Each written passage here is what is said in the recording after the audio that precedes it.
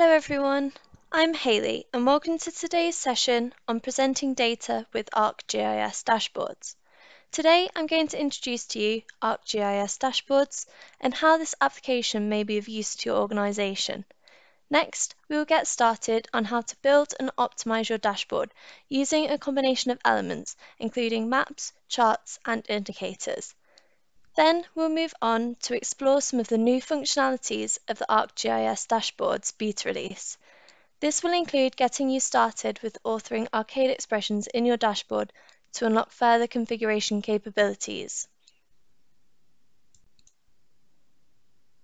So, what is an ArcGIS dashboard? You may have already come across this application as it was previously named Operations Dashboard. It is an online application which enables you to present data in easy to read formats where all key information can be seen on a single screen.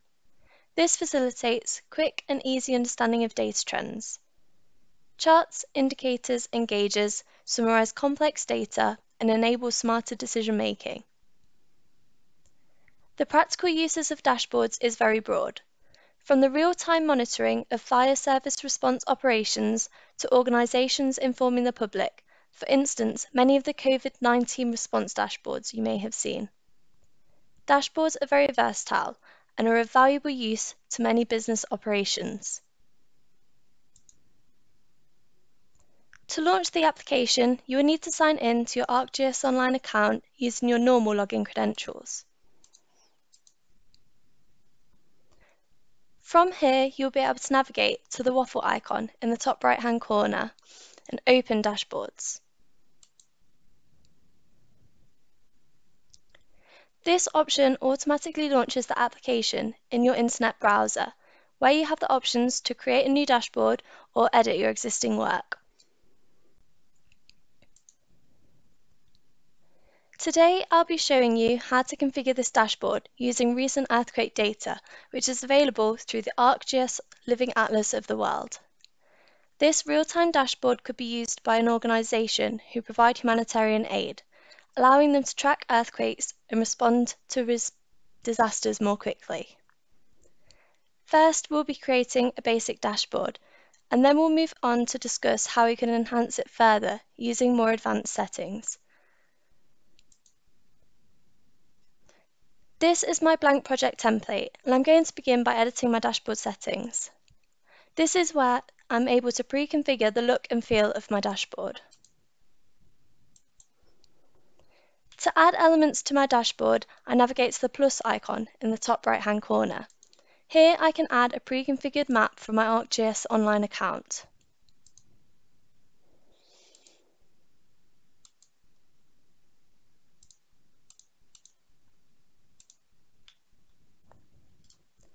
Next, I'm going to use a list element.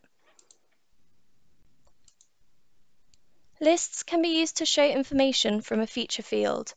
In this case, I only want to display events with a magnitude greater than 4.5.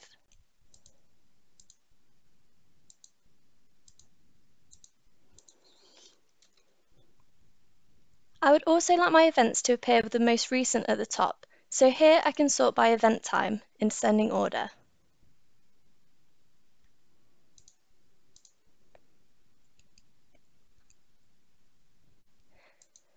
Next, I can configure the items displayed in my list by using the drop-down arrow in the item template. I'm going to select location, but I've also already configured what I'd like to include, so I'm going to paste that option in. Here I have the option to customize this.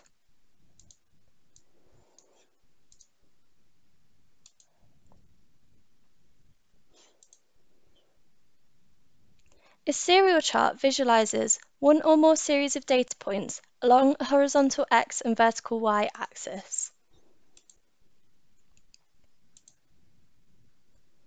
I can filter results for only a magnitude of above 4.5.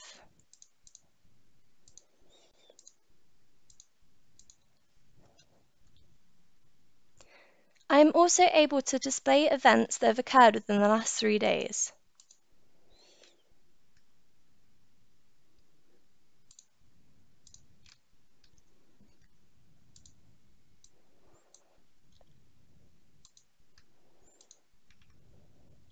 One of the category fields will be event time and the other will be magnitude.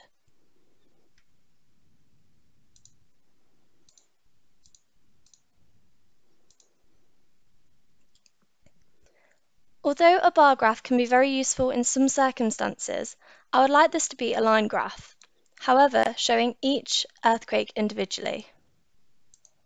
Therefore, I will minimize the line opacity. I also have an option to add axis titles.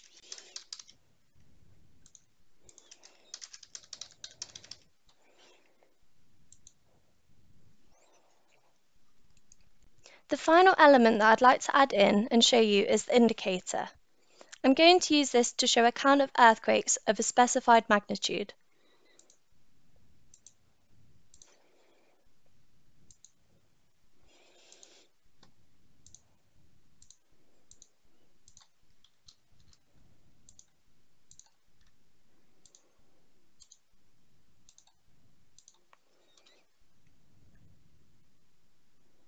I'm also able to give this a title.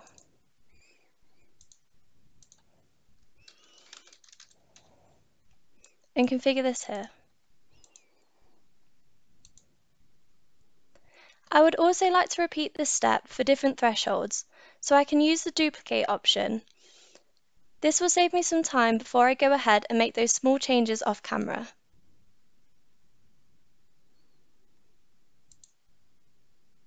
I have configured my additional indicators and added some finishing touches, such as a header, subtitle and legend, so people can quickly and easily understand my dashboard.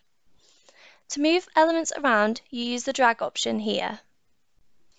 It is also useful to note that you can group elements by holding down the Shift key as you move your elements. This is what I have done for my indicators here.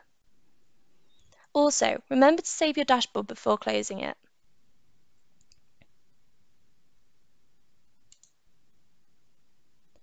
Next, I would like to talk you through how we could use some of the more advanced settings within dashboards, including filters, map actions, and URL parameters. In some cases, it can be useful to have your dashboard automatically focus on details of the latest event or a particular asset.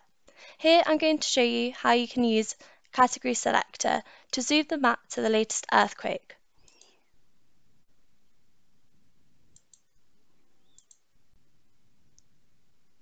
By sorting my category selector to events time, I can configure this in descending order so I can focus upon the latest event.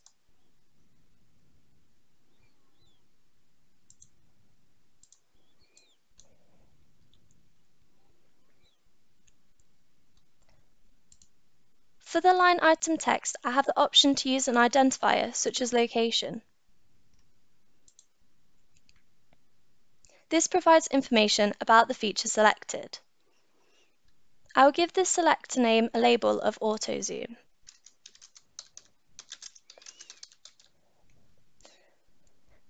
This is a live action that I, that I will add later on. Or, if we simply want to toggle on and off the auto zoom capability, I can change the displayed type to button.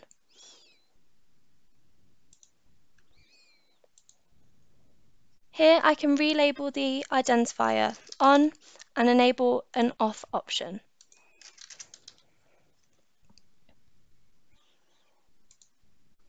In the actions, I can now target the zoom action so that the map will zoom to the latest earthquake.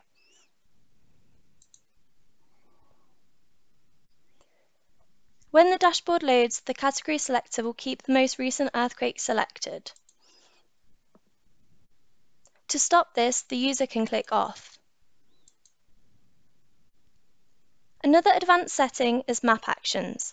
These can be used to sync together the different elements of your map, for instance, to only show information that is displayed within the map extent. So, I will show you how I've configured this.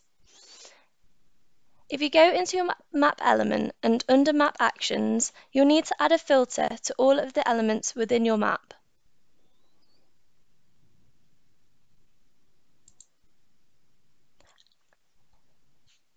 Here, if I zoom into my map, The elements around my map will automatically update based on what is visible in the map extent. Another great example of map actions is this police department crime dashboard. If I select burglary, you'll notice that the other elements of the dashboard will dynamically update.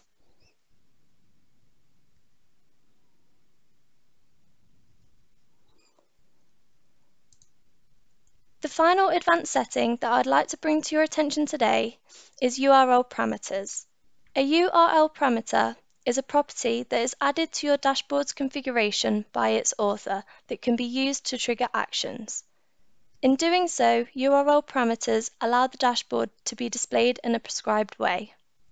My example will predefine magnitude. This may be useful to a researcher studying patterns of earthquakes with a magnitude of 5. To set up my URL parameters, I go into the dashboard settings and there is a tab available for this.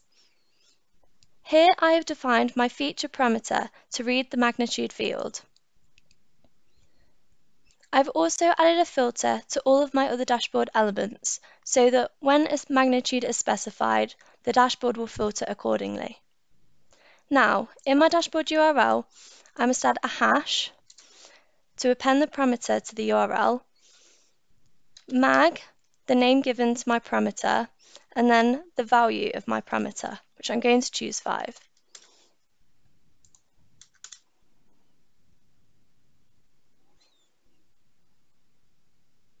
Here you can see my dashboard is only showing earthquakes with magnitude of 5. Now we will explore some of the new functionalities of the beta release. The ArcGIS Dashboards Beta is the upcoming version of ArcGIS Dashboards. It is built on the ArcGIS API for JavaScript 4.x and enables dashboard authors to take advantage of multiple enhancements that have been introduced across the ArcGIS platform. This new release offers us improved overall map performance, improved usability for percentile summary statistics and count, as well as support for RGB and HSL formats for color input. It also offers support for Arcade. In this section, I'll be focusing on Arcade and then touching on some of the other capabilities too. So, what is Arcade? Arcade is a portable, lightweight, and secure expression language written for use in the ArcGIS platform. You may be familiar with using it to author advanced symbols or pop-ups, but for the first time within the application level in ArcGIS Online, you can now use it to author arcade expressions directly into ArcGIS dashboards for both the list and the indicator elements, enabling customization of how data points are rendered. Within these elements, Arcade can be used for conditional formatting, value conversions, and more. Here is a dashboard I've enhanced with Arcade.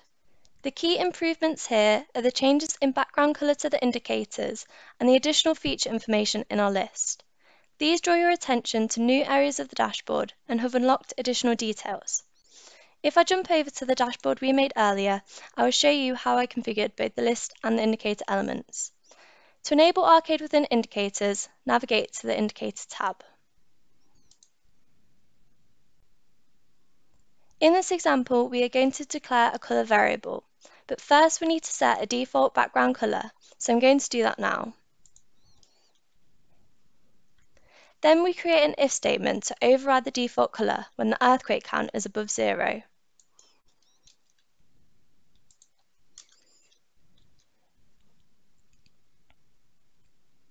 When this condition is met, the new color will override the default. But to put this into action, I need to uncomment the background color property. Then I can assign it back to the background color variable I defined earlier.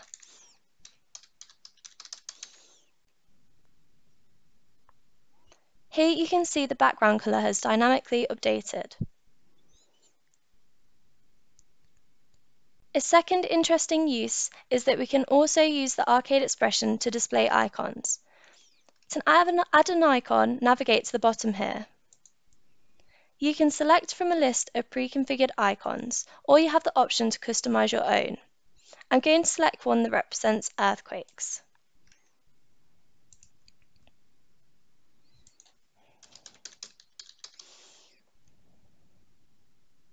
To apply this icon to my indicator, I need to uncomment the icon name property and assign it back to my icon.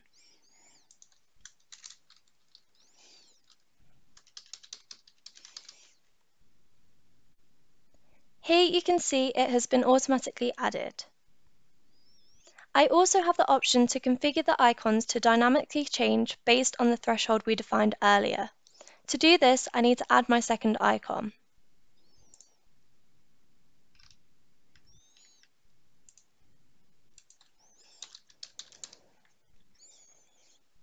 Then I can update the if statement that I defined earlier to incorporate my icon change.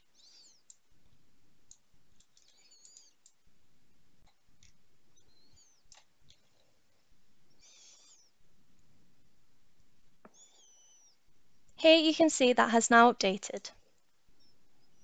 Next, I'm going to show Arcade and Lists. You can enable the Arcade option under the List tab.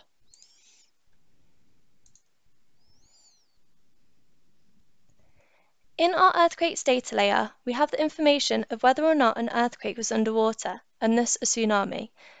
This information is currently expressed as a 1 or blank under the field named Tsunami.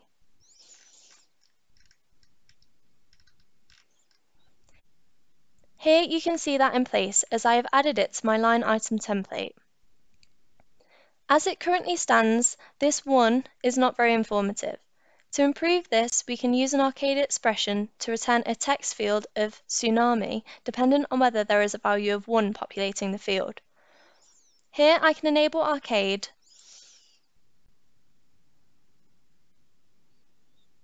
and submit an if statement I prepared earlier.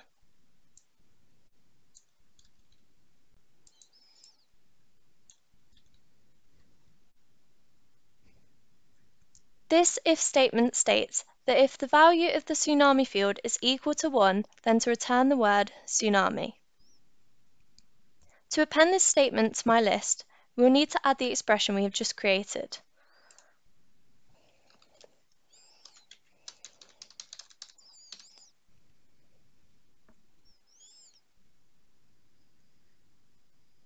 Here you can see the list is now presenting the word tsunami. In addition, we can also configure the background color to change to red if there is an earthquake with a magnitude greater than 7.5.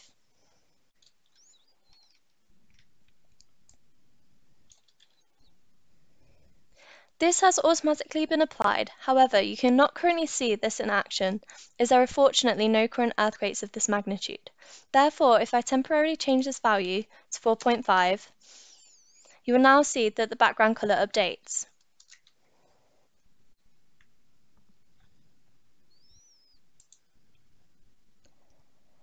Another example of dashboards harnessing the new capabilities is this US air quality dashboard. The indicators for sites reporting PM2.5 and sites reporting ozone are configured to count based on whether the field is populated or empty, thus returning corresponding pollutant information, or not. A final example is the fire accreditation dashboard showing percentile statistics. There are three components of a fire call timeline, this is dispatch time, turnout time, and travel time. All indicators have been set to the 90th percentile with a fixed value KPI as reference. These indicators are helpful in answering questions like which portions of the call time are meeting our goals, and are there any weaknesses in call response timeline? Using the new capabilities in ArcGIS dashboards, you'll be able to better unlock information and create more effective dashboards. To bring today's session to an end, I hope you now feel confident with how to get started with ArcGIS dashboards, understand some of the new beta capabilities, and have learned how to author simple arcade expressions to better present and unlock further data in your dashboard. Thank you for listening.